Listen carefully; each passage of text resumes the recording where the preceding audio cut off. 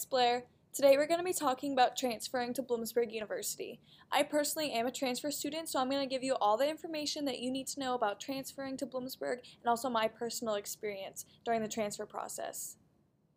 So transferring is not starting over. No matter where you're coming from, you're coming with something.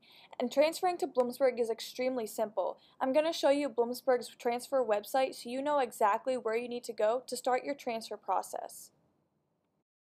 So bloomu.edu slash transfer is where you're going to start your transfer journey, and this is what the website looks like. It has the application requirements, admissions timeline, criteria, and additional information. We have admissions counselors specifically for transfer students so we can answer your questions as best as we can. We also have transfer day and evening tours specifically for transfer students.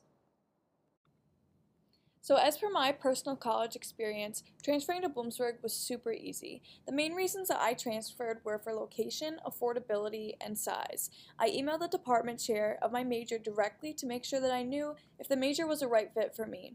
I also communicated with transfer admission staff to make sure that the process was running smoothly and to learn about any other opportunities for transfer students.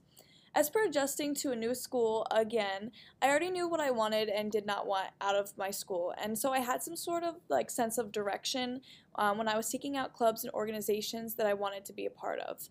The activities fair during the first week of school was awesome because it was on the academic quad, so it kind of began to tie together everything on campus for me. Even though I was a transfer student, I was still able to meet other students who had the same interests as me. Overall, the process was easy. Don't ever be discouraged if you are considering transferring. There are tons of students out there like me who have transferred and are much happier because they're getting exactly what they want out of their college experience. So you should definitely consider Bloomsburg if you are considering transferring.